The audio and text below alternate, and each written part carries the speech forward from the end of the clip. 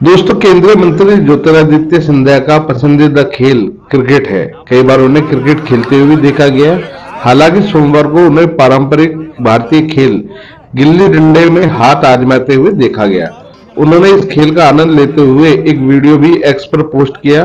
उन्होंने लिखा, क्रिकेट तो बहुत खेला, आज गिल्ली डंडा खेलने का मज़ा बहुत आया। गिल्ली डंडा जिसे गुल्ली डंडा भी कहा जाता है, एक पारंपरिक भारतीय खेल है। जो देश के ग्रामीण क्षेत्रों और छोटे शहरों में लोकप्रिय है।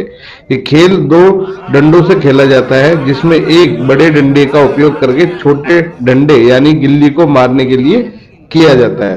दोस्तों, आप भी देखें, ज्योतिरादित्य के वायरल वीडियो, इस वीडियो के बारे में आपकी अपनी क्या राय है, हमें कमेंट्स करके ज़रूर बताएँ। क्या आपने भी गिल्ली डंडा खेला है? अगर हाँ तो हमें कमेंट्स करके ज़रूर बताएँ।